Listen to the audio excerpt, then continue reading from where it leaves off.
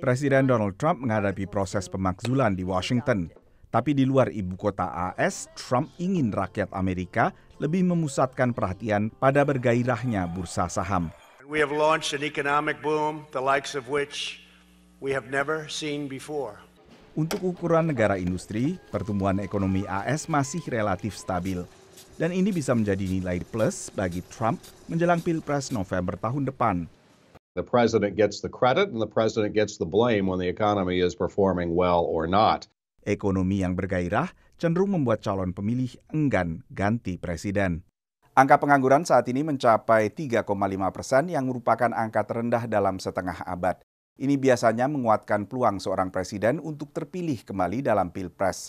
Selain itu, penguatan bursa saham memasuki tahun ke-11, jauh lebih lama dibandingkan penguatan berturut-turut atau bull run sebelumnya. Tapi pada saat yang sama, para bakal capres partai oposisi Demokrat menekankan semakin tingginya kesenjangan ekonomi yang menurut mereka diabaikan Trump. I think where we are in America right now is it's those at the top who are just sucking up all the wealth.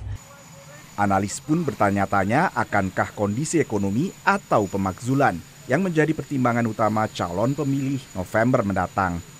This is going to be much less significant by next November than people think. It's going to seem like an eon past. And that means other controversies, other issues, uh, the two candidates, Democrat and Republican, will dominate the election, not impeachment. Partai Demokrat baru resmi memulai proses pemilihan pendahuluan untuk menentukan capres pilihan partai pada awal Februari. Dari Washington DC, Nova Purwadi, VOA.